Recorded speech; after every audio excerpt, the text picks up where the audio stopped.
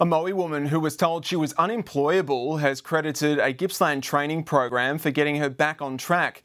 Shani Swift says the course aimed at helping the long-term unemployed has prepared her for the workforce. Nadia Dimatina explains.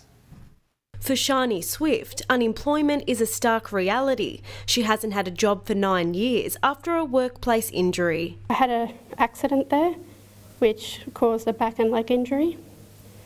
They ended up being really badly workplace bullied and harassed, and some of it was even by management. Shani says she was continually knocked back from jobs as companies deemed her unemployable or a liability. Most of the jobs that you do, you need to be able to walk around, or part of the duties are you need to be able to bend or lift, and I'm just not able to do that. The 30 year old is one of 13 people participating in a specialist program, creating work opportunities for unemployed people in the Latrobe Valley. A course that would be able to assist people with long term unemployment, bridge that gap. The four week pre employment course offers essential skills to return to the workplace. Learn uh, how to put a resume together and apply for jobs, uh, some basic interview skills and, and techniques. Uh, they also learn digital literacy skills. There has been so much demand for the course that from next week it will be delivered to one of its Melbourne offices. It's such a popular course now that we've opened it up